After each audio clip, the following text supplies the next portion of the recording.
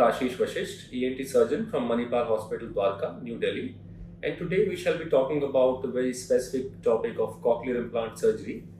Cochlear implant surgery, as we know, has been in the uh, has been happening for the past many years now, and is a wonderful rehabilitation procedure for uh, profoundly deaf children, adults, or young patients when they have unilateral or both sides hearing loss. Now, that normally cochlear implants are being done routinely in most good uh, ENT setups. Where we uh, come as a specialty is the complicated procedures such as cochlear implantations in cochlear ossifications, cochlear implantations in uh, erstwhile cavities, and ears with discharge.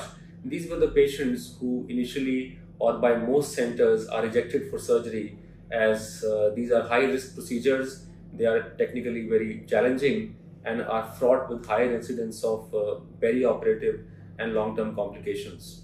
So we as a center specialize in all the complicated cochlear implant surgeries or surgeries of cochlear implantation in complex situations.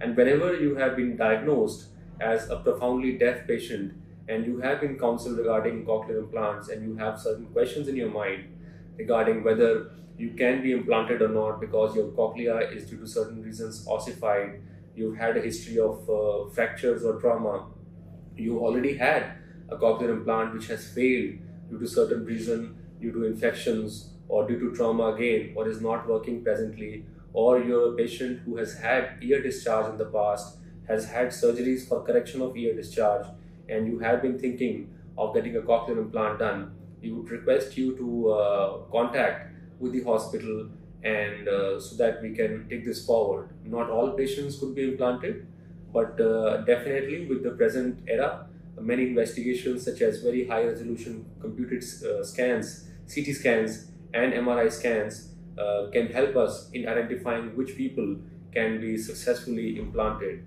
Uh, we have ample amount of research to back this up in terms of very reasonable and appropriate outcomes.